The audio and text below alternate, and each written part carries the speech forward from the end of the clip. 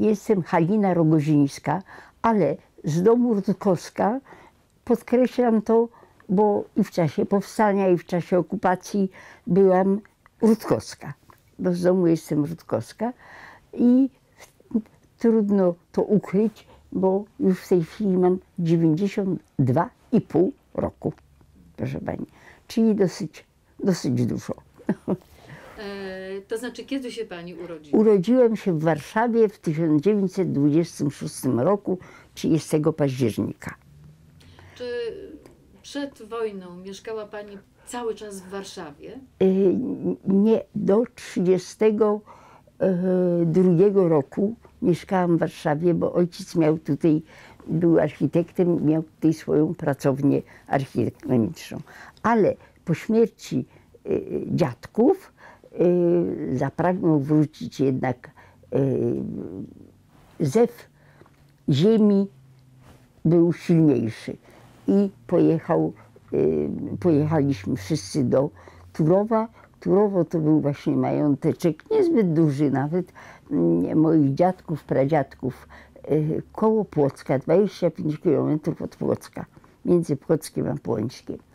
Y, I tam żeśmy y, zamieszkali, także od 1932 roku byłam tam y, pod Płockiem. Czy pani miała jakieś kontakty wtedy ze społecznością żydowską? Jak pani to pamięta?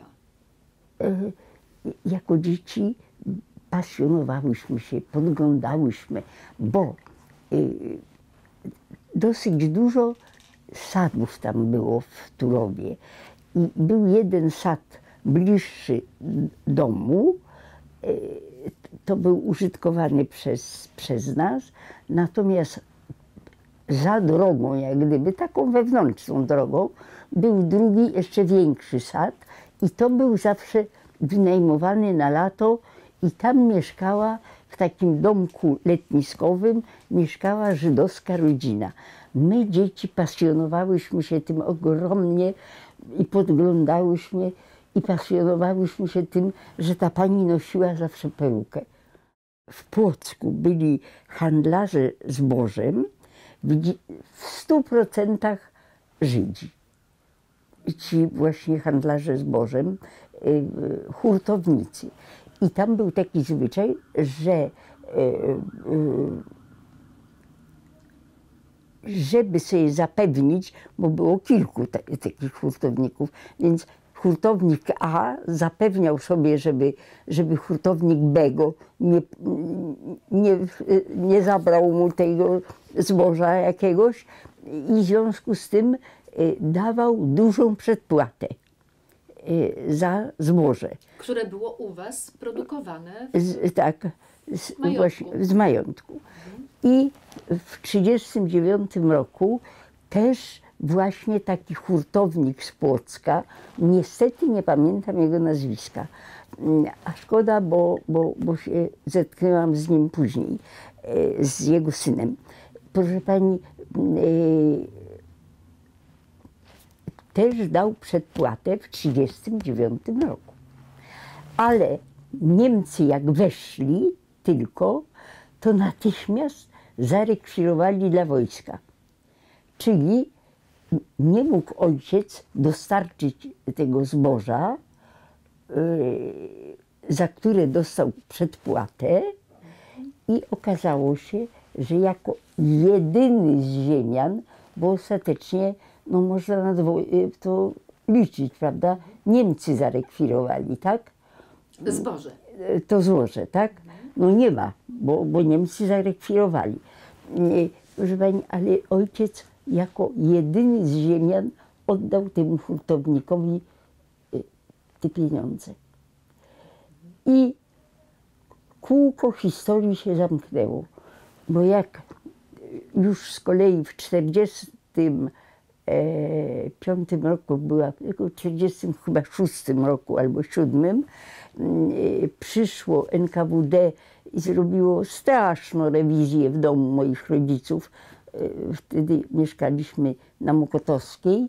Mm, To w pewnym momencie do mojego ojca chorego, leżącego w łóżku, podszedł młody Żyd właśnie też y, z NKWD i powiedział y, obywatelu Rutkowski, pan mnie nie znasz, ale ja pana znam, bo mój ojciec kazał mi się odwdzięczyć za to, że myśmy dzięki tym pieniądzom od pana przeżyliśmy.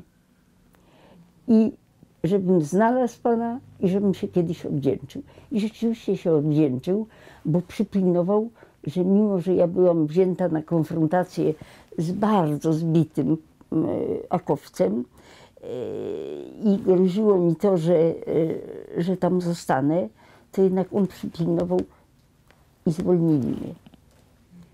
Także jemu zawdzięczam A czy opowiadał, jak przetrwali? przetrwali dzięki temu właśnie, że mogli się wykupić. Oni się gdzieś skądś wykupili.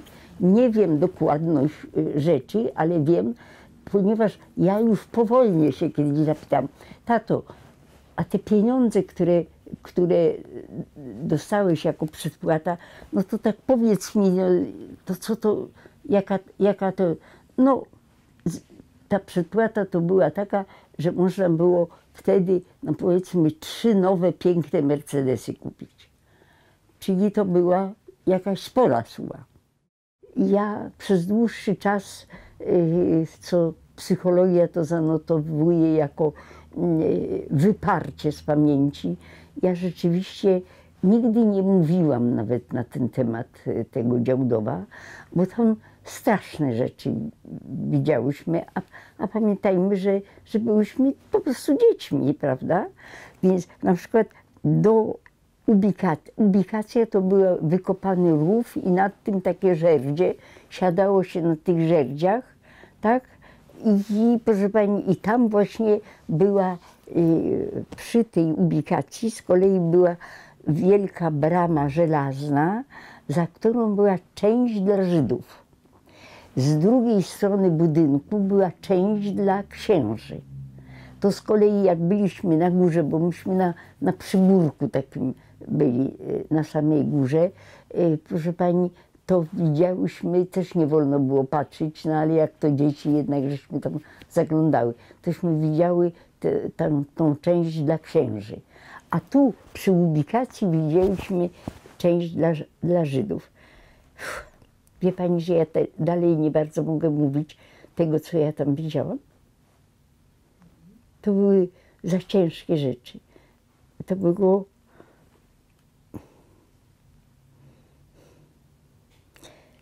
Tam na przykład to była znana historia, ale niestety e, miałam takiego pecha, że razem z tą moją młodszą siostrą, razem akurat byłyśmy przy tym. Do tej, do tej ubikacji takiej wykopanej wpadł chłopiec taki, powiedzmy mniej więcej dziesięcioletni. Niemcy, myśmy myślały, że oni go chcą wyciągnąć, a oni go wypchnęli głębiej.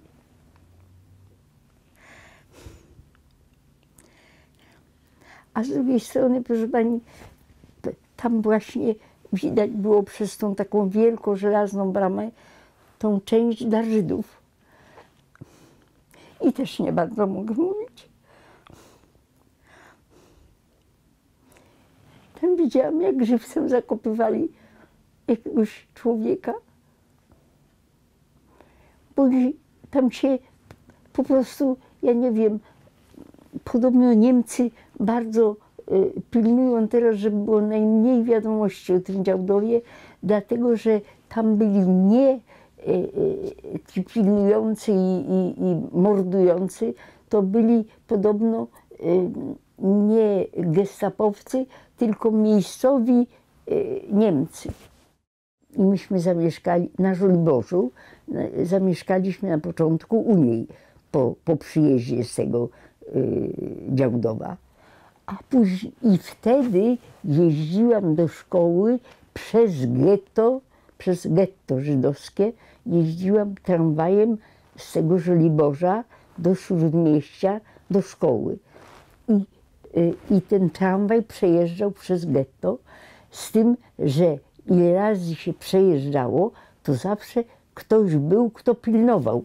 Nie wolno było otwierać okien w czasie przejazdu przez przez e, getto. I tak wiem, że, że e, tam byli tacy, którzy jednak jakieś jedzenia wyrzucali, ale e, e, to zorganizowani byli ludzie, którzy tego, ale my tacy uczennice czy uczy, uczniowie, tośmy po prostu musieli się pilnować, żeby, żeby y, nie dostać po głowie od tego pilnującego. Czy pani z tego tramwaju cokolwiek widziała? Jakieś Nie, widziałam. Pani? Może Widziałam, pani opowiedzieć o, o tym, co pani zapamiętała z getta? Straszne. Ci ludzie tacy wychudzeni, bo to już jednak był y, cz- 41 rok, tak. Więc y, to niby od niedawna było to getto, ale, ale jednak już ci Żydzi mieli y, trudne warunki, bardzo tam. Y, Z tym, że mm, tak się mówiło wśród polskiej y, ludności, że tam były straszne nierówności. Byli Żydzi, którzy mieli, mimo getta, mimo wszystkiego, mieli bardzo dobre warunki. Po prostu byli jacyś bardzo bogaci czy coś. No nie bardzo to e, wiem. Ale było strasznie dużo takiej biedoty, e, która rzeczywiście przymierała głodem. Czy pani kiedyś była w getcie, czy pani tylko przejeżdżała? Przejeżdżałam, nie byłam nigdy, natomiast dzieci żydowskie wychodziły, y, jeżeli tylko im się udało, to wychodziły i żebrały wśród polskiej ludności. I to pamiętam, że y, i moi rodzice, i, i wśród znajomych, wszyscy specjalnie trzymali jakieś jedzenia dla tych żydowskich dzieci żeby im dać. A co pani wie na temat tej pomocy udzielonej Żydom przez najpierw ZWZ, a potem przez AK? Wiem, że, że, że to moje starsze rodzeństwo było w to yy, zaangażowane. To znaczy w szmuglowanie żywności, czy ukrywanie? Nie. Raz, że dwie rzeczy wiem, że yy, załatwiali. Raz, że szmuglowanie żywności to była jedna rzecz, a druga rzecz była wyprowadzanie z, yy, z getta przede wszystkim dzieci. I te dzieci to na ogół w klasztorach były ukrywane. Ale nie tylko w klasztorach, w różnych domach też. To znaczy pani starsze rodzeństwo, jakby pani wymieniła ich imiona. Y, y, y, Siostra była Maria i brat Kazimierz Maciej, ale myśmy go nazywali Maciej, bo ma, ojciec też był Kazimierz, więc dał jego nazywaliśmy Maćkiem. Ile oni mieli lat Y, wtedy? Proszę pani, brat był z 20 roku, czyli miał w 40 y, powiedzmy trzecim roku to miał 23, tak? A siostra była z 23, czyli miała 20, tak? O, no. I oni, oni byli zaangażowani w tą walkę podziemną od początku. Lekarz, dowódca nasz, zaraz, to jednak, y, przecież ja pamiętam nazwisko, za chwileczkę sobie przypomnę, dobrze? Y, To był też Żyd, ale W mieszkający powstaniu, tak? tak, ale y, mieszkający po tej stronie y, miał papiery Polaka. Ale wiedzieliśmy, my wiedzieliśmy już w czasie powstania, że jest Żydem, prawda? Za chwilkę sobie przypomnę nazwisko, bo bo, wiem mam zapisane nazwisko jego i żydowskie nazwisko i nazwisko, które używał w czasie okupacji jako, jako Polak, jako y, no nie Żyd, jako Aryjczyk, o, tak bym powiedziała, tak? Y, Zaraz, co jeszcze miałam powiedzieć? E, skąd w tym domu wzięli się Żydzi? Tam się okazuje, że się ukrywali. Proszę Pani, tego się na ogół bardzo nie mówiło, ale byli. I wierzę, bo jeżeli naszym dowódcą był ten jednak Żyd, który się ukrywał, prawda? Yy, lekarz. Ale w stopniu wojskowym on był? Y, Był lekarzem i był, był chyba w stopniu wojskowym też, ale był naszym dowódcą. Więc bardzo możliwe, że, że on miał kontakt właśnie z jakimiś innymi Żydami, którzy się ukrywali i potem właśnie tą drogą przez, przez tą rurę ciepłowniczą oni się też przeciąg, przeciągnęli. Czy pani wie coś na temat e, udziału Żydów w powstaniu? Nie, ja nie wiem. I wiem y, od mojej, mojej rodziny z Śródmieścia, ale to tylko z ich opowiadań, że owszem, byli, bo byli y, tam gdzieś na Gęsiówce, byli oswobodzeni i oni od razu wstąpili też do y, polskich jak gdyby oddziałów Powstańczych. powstańczych, tak.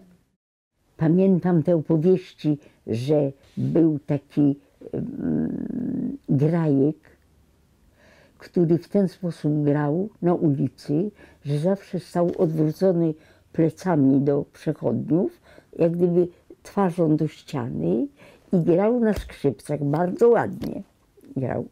Ale zauważyli, że tam, gdzie on grał, tam potem następowały e, aresztowania.